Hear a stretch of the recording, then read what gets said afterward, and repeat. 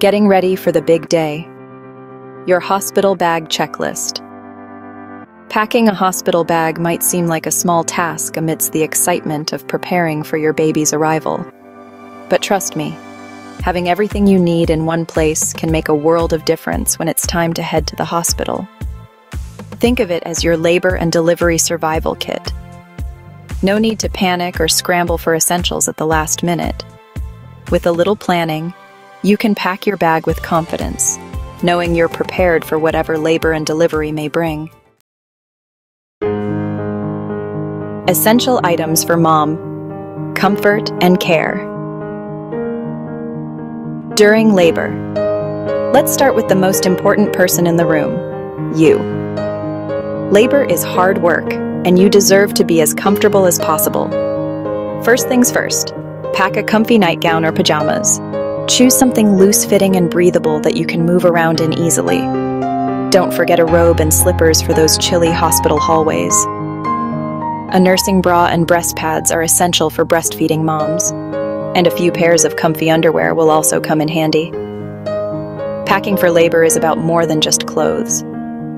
Bring along your favorite lip balm and lotion to combat dry hospital air. Don't forget your toiletries, including shampoo, conditioner, toothbrush, and toothpaste. And while the hospital will provide basic necessities, you might prefer the comfort of your own pillow and blanket.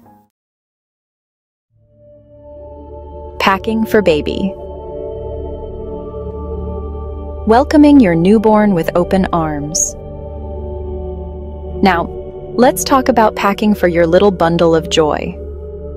Newborns don't need much, but there are a few essentials you won't want to forget. Pack at least two or three outfits for your baby, including onesies, sleepers, and a going home outfit. Choose soft, breathable fabrics that are gentle on your baby's delicate skin. Don't forget socks or booties to keep those tiny feet warm. In addition to clothing, pack a few receiving blankets to swaddle your baby and keep them cozy. A soft baby blanket is also a good idea, especially if you plan on spending time in the hospital's nursery or lounging area. Pack a few diapers and wipes, although the hospital will likely provide these as well. And don't forget a car seat. You won't be able to leave the hospital without one properly installed.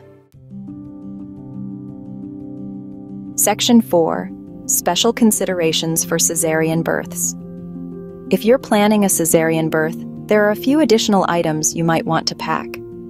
Loose fitting, comfortable clothing is especially important after a C section, as you'll want to avoid anything that rubs against your incision. Consider packing a belly band or high waisted underwear to provide extra support and comfort as you heal.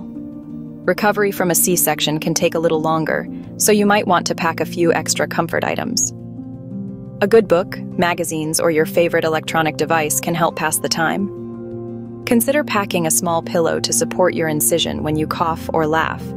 And don't hesitate to ask your partner or a loved one to bring you anything you need during your hospital stay. Section 5 Personal Touches Creating a Home Away from Home. While the hospital is designed to provide everything you need medically, there are a few personal touches that can make your stay more comfortable and enjoyable.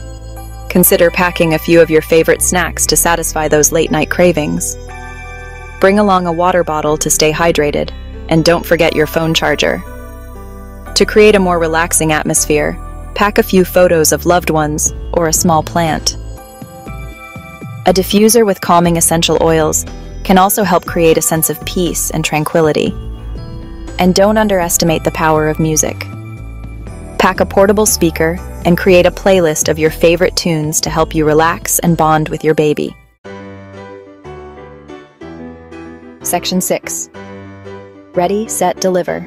Congratulations. You've successfully packed your hospital bag and are one step closer to meeting your little one. Remember to double check your bag a few weeks before your due date to make sure you haven't forgotten anything. And most importantly, relax and enjoy these last few moments of your pregnancy. Labor and delivery can be unpredictable, but with a little preparation, you'll be ready for whatever comes your way.